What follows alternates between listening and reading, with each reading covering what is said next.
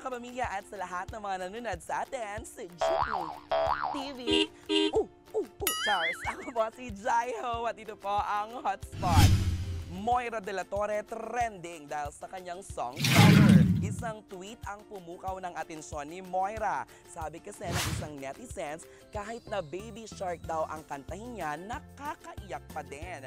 Agad-agad naman niya itong sinagot at sinabing gagawin daw niya ito kapag siya ay nanalo sa Himig Handog 2017.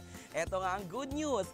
Dahil nanalo nga ang kanta niyang Titibo-Tibo sa Himig Handog 2017, agad-agad ginawa naman niya ng song cover ang sikat na sikat at trending na awitin talaga na Baby Shark, baby, baby Shark. Agad-agad naman na nag-viral nga sa social media ang song cover ni Moira ng Baby Shark.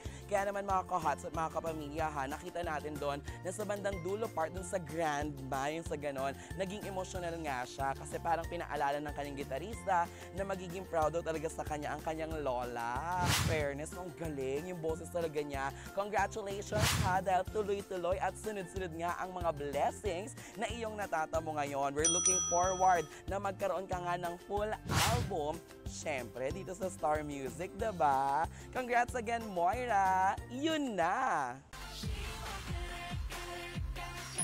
Hi mga kapamilya! Mag-subscribe na kayo sa ABS-CBN Entertainment YouTube channel. Para sa more, more, more videos and more, more, more chika, click nyo na ang I button.